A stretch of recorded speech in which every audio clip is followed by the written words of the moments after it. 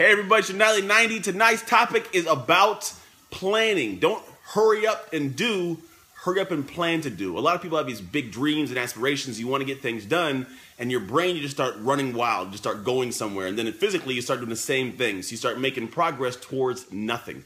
And so a lot of people spin their wheels when really they should sit down. Like, hurry up to sit down and plan out what you do.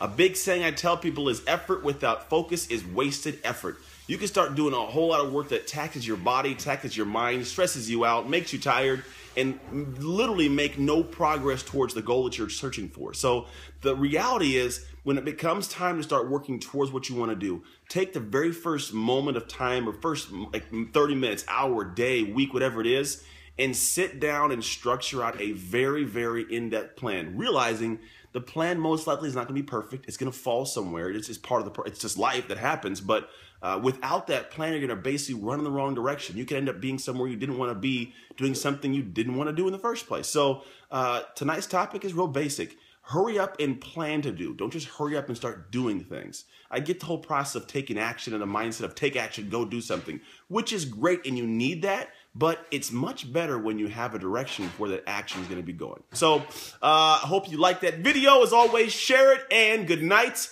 God bless and go Ducks.